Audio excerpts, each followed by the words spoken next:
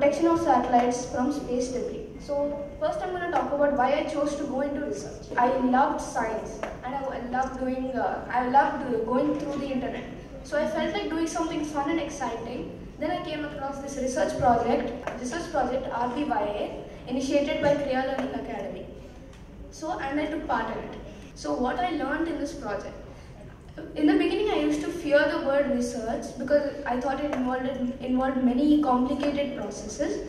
But the research field, but after going, doing having the live sessions with the uh, faculty, I realized that the research field is infinite, and this made me confident enough to start my own research.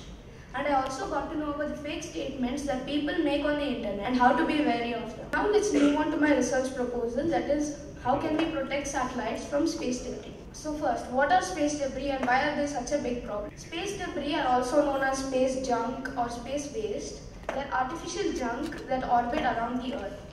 They, they can be uh, dismantled parts of rockets or old satellites. There are more than 5 lakh such pieces of junk orbiting around the Earth and they travel at speeds up to 17,500 miles per hour.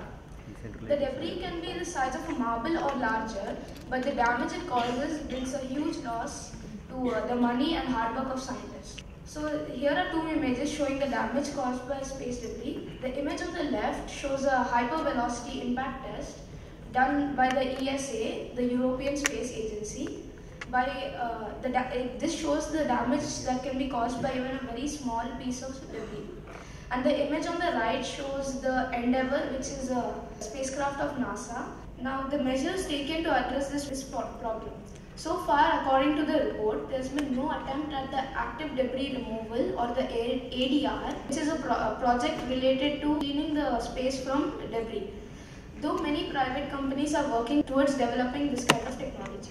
In June 2016, China launched a small satellite with a robotic arm meant to demonstrate the removal of a space debris object. Remove Debris Research Program will conduct its first mission known as e.Deorbit that is scheduled for 2023. How I feel this problem can be solved is since AI has been able to uh, accomplish a lot lately, artificial intelligence, I feel as though this can be a very simple solution to this problem.